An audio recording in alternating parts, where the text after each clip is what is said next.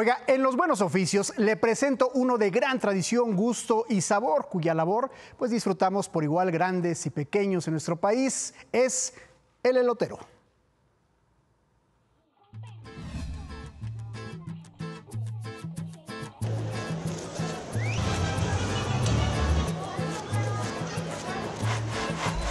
Mi nombre es Daniel Martínez Juárez, elotero de aquí de la Central de Abastos, orgullosamente de aquí de Iztapalapa. Pues un elotero es una cosa muy linda, es simplemente desde el trato al cliente, la amabilidad que uno se le da, la, con el consumo que ahora sí que el elote es muy mexicano, muy ahora sí que dice el eslogan que sin elote no hay país. Eso es. Desde hace 20 años, Daniel es elotero. De sus padres aprendió el oficio que, sin importar lo pesado que sea, a él le llena de satisfacción poder realizarlo día tras día.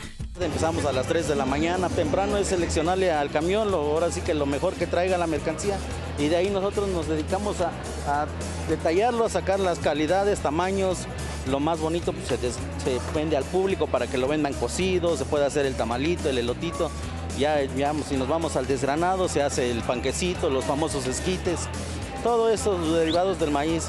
Aunque todo el día está de arriba abajo y de aquí para allá, siempre dedica tiempo para seleccionar los elotes que ofrecerá a sus clientes, buscando la mejor calidad. Más en el tipo de diente, por ejemplo, en este elote cacahuacincle, nos estamos fijando que el elote sea tierno.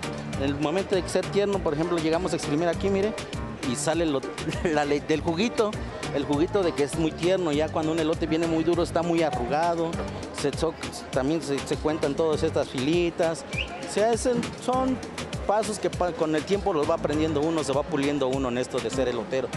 Daniel trabaja en la central de abastos de la Ciudad de México, donde está su otra familia, amigos, colegas y clientes con quienes ha formado un lazo especial gracias al elote. Aquí se generan amigos, amistades. Desde un cliente podemos, te puedo contar historias de que te haces una bonita amistad con todo el público porque es lo que se trata de hacer, ¿no? Ser un, un ambiente familiar en esto del mercado de flores y hortalizas. Haciéndoles una invitación a que nos visiten en estas fiestas de septiembre, a degustar unos elotes con todo el amor y cariño, se les atiende con todo el respeto que se merecen. Cuando gusten pasar aquí los esperamos, los atendemos con mucho gusto y cariño que se merecen todos. Para imagen, Brenda Salas. Y bueno, ya después vendrá la preparación del elote.